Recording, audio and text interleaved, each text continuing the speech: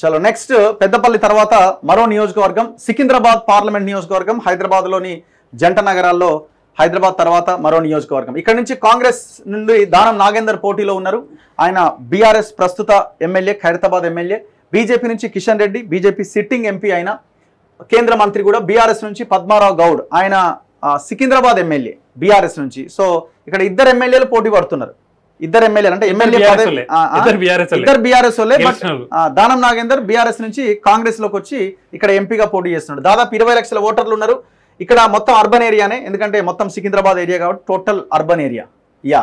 So ఇక్కడ ఎమ్మెల్యేల విషయానికి వస్తే ఒక్క ఎంఐఎం ఎమ్మెల్యే ఉన్నాడు. మిగతా వాళ్ళంతా బీఆర్ఎస్ ఎమ్మెల్యేలే ఉన్నారు. సో మొత్తం గ్రేటర్ హైదరాబాద్లో అంతా బీఆర్ఎస్ గెలిచింది. సికింద్రాబాద్లో కూడా.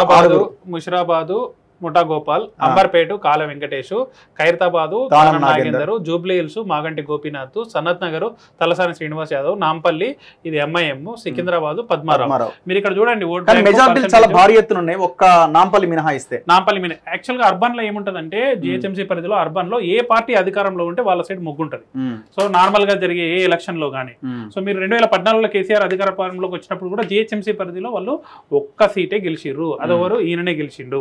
సో మిగతా ఇరవై ఆరు అసెంబ్లీలలో ఎవి గెలవలేదు. ఈసారి కూడా కాంగ్రెస్ పార్టీ అధికారంలోకి ఏ సీటు లేకుండా జిహెచ్ఎంసీ పరిధిలో ఉన్న ఇరవై ఆరు సీట్లలో ఏ సీట్ రాలే. కానీ గెలిచిర్రు. కానీ గెలిచిన తర్వాత జరిగిన పరిణామాలలో వీళ్ళు చూడండి వీళ్ళందరినీ సీఎం వచ్చి కలిసిపోయారు. ఆల్మోస్ట్ జైన్ అయినట్టే. అందరూ. ఆల్మోస్ట్ అంబర్పేట. వెంకటేష్ వచ్చిండు. ఈయన కండువా కప్పుకున్నాడు. మిగిలింది ఈయన ఒక్కడే. మిగతా వాళ్ళందరూ కూడా కాంగ్రెస్కి అవుట్ రేట్ సపోర్ట్ చేస్తారు కండువా మాత్రమే వాళ్ళు ఉన్నది కాంగ్రెస్ సపోర్ట్ చేస్తారు ఇంకొక ముఖ్యమైన అంశం ఏంటంటే ఇది సికింద్రాబాద్ సిట్టింగ్ కిషన్ రెడ్డి గారి మీద కేంద్ర మంత్రిగా ఉండి. ఎక్కువ అబాసు పాలయ్యండు. మొన్న ఇరవై రెండు వేల ఇరవై మూడు ఎలక్షన్లలో BJP party performance చేయకపోవడానికి Bandi Sanjay నుంచి బీజేపీ అధ్యక్షునిగా కిషన్ రెడ్డి వచ్చిన తర్వాత పార్టీ పతనానికి ఇతడే కారణమని.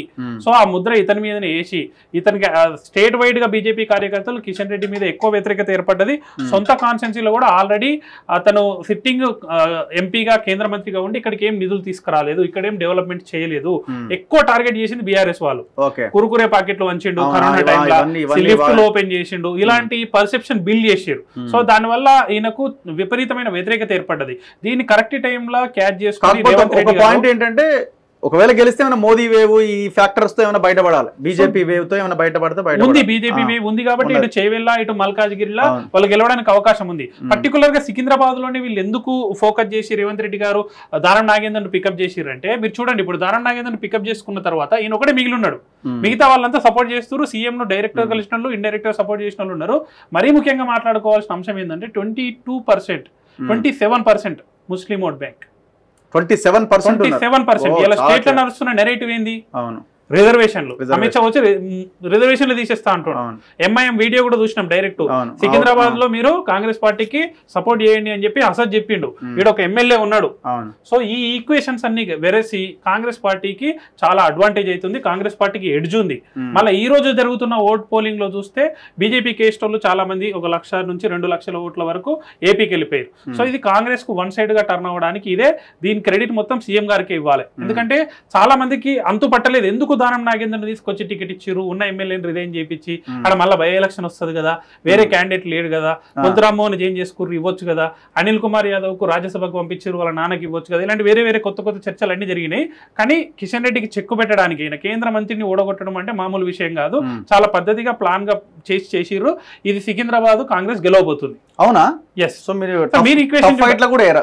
టఫ్ ఫైట్ లాగా చూడండి ట్వంటీ సెవెన్ పర్సెంట్ వీళ్ళు. వీళ్ళు ఎవరికి ఓటేయాలి అసలు ఇది రేస్లో లేదని చెప్పిన తర్వాత ఎంఐఎం ఓపెన్గా మీరు కాంగ్రెస్కి ఏమని చెప్పిన తర్వాత ఎంతమంది ఓటేస్తారని అనుకుంటున్నారు బీఆర్ఎస్. పార్టీకి? ముస్లింల నుండి ఎంత పర్సెంట్ జరుగుతుంది? అండ్ క్రిస్టియన్స్ కూడా ఇది ఇంకెక్కువ ఉంటుంది ఒక ఫోర్ పర్సెంట్ వరకు ఉంటుంది. ఆల్మోస్ట్ ఒక thirty five percent minority vote bank ఉంది. థర్టీ పర్సెంట్ వన్ సైడ్ పడ్డా కానీ థర్టీ పర్సెంట్ తోటి గెలిచిపోతారు. సో మీరు ఇది దేనికి ఇస్తున్నారు? కాంగ్రెస్. ఇస్తున్నారా?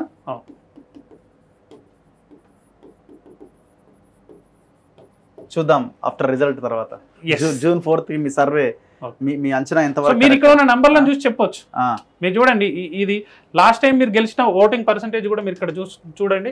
రెండు వేల పంతొమ్మిదిలో రెండు వేల. పంతొమ్మిదిలో forty two percent thirty six percent ఎంత తేడా? అవును. జస్ట్ సిక్స్ పర్సెంట్ సిక్స్ తేడా. అండ్ కాంగ్రెస్కి ఏం తక్కువ ఓట్ బ్యాంక్ లేదు. ఉమ్. నైన్టీన్ పర్సెంట్ సెక్యూర్ చేసుకుంది. రెండు వేల అవును. పద్దెనిమిదిలో ట్వంటీ వన్ పర్సెంట్. ఉమ్. రెండు వేల రెండు వేల తొమ్మిది సీటు రెండు వేల పద్నాలుగు సీటు పొత్తుల టీడీపీ బీజేపీ పోటీ చేసుట్లా ఆయన బండారు దత్తాత్రేయ గెలిచిండు. ఓకే. అదర్వైజ్ రెండు వేల తొమ్మిదిలో ఆయన అంజన్ కుమార్ యాదవ్ సీటే ఇది. కాంగ్రెస్ సీట్. కాంగ్రెస్ సీట్ ఇది. అవును. సరిగా ఫోకస్ చేయక ఆ సీట్ అలా వదిలేసారు యా నెక్స్ట్ మీరు జైనింగ్స్ కూడా చూడండి అన్న. సికింద్రాబాద్. సికింద్రాబాద్. చూడండి. Um, okay. లేదు లేదు మీరు వరంగల్ ఇచ్చినారు. ఇది. ఇటో పోయినట్టున్నది. Wrong wrong. లేదు లేదు ఇది ఇది. సికింద్రాబాద్. మంచిర్యాలలో కేశవరావు అవును మేయర్ కూడా జాయిన్ అయింది. Ten corporators join ten corporator join అయ్యారు. సో. మంచి గ్రౌండ్ వర్క్ జరిగింది okay so based on that మనం ఈ సికింద్రాబాద్ కాంగ్రెస్కి ఇస్తున్నాం. యా